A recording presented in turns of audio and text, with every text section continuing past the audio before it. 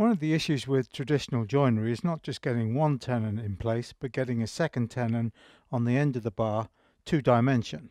And so this is my little model as to what I do. It's not my original idea, but I really like, enjoy the way it works. Just to give you a bit of layout of the land, this is the top of my vise. I don't know if you can see this. This is a piece of angle iron.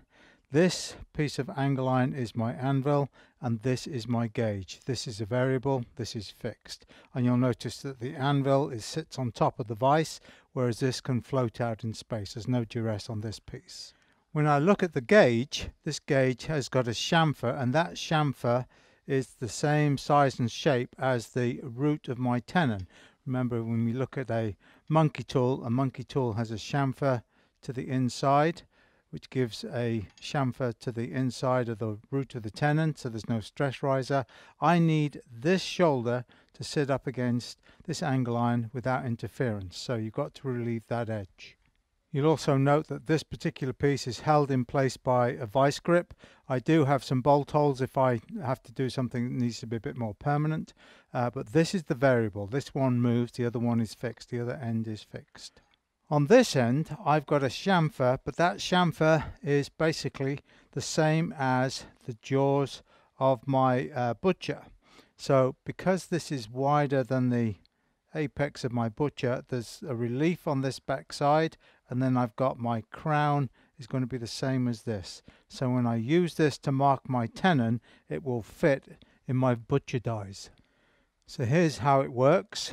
Um, with this end hot, the, when you need the new tenon, you're going to come on and you will have previously measured the distance that you need plus about a 30 second. Why the plus a 30 second? Because this end is hot and therefore expanded, so you want to take an account for that. It's okay to upset, it's a little hard to draw out without putting some dings into your bar. So I do dimension that I need plus a 30 second. Bar goes on, this end is hot, going to come with my hand hammer and I just give that a bang, turn it over 180, so I've got a, a mark in here now, turn it over, bang, so I've got a mark on either side of the bar and that now will go into my butcher dies on my blacksmith's helper or whatever guillotine and I'll be able to draw my, um, isolate the material for the tenon.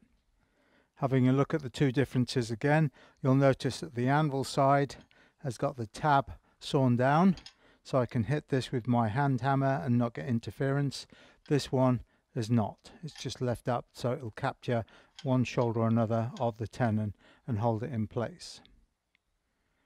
Another thing that might not be obvious is that this is cut further into the bar. This is shallower. So I've got about a sixteenth or so of material there on the shoulder. So this is about a sixteenth proud. This is that minus a sixteenth and that way this is going to be kept parallel to the edge of the bar and this therefore is going to be perpendicular to the anvil.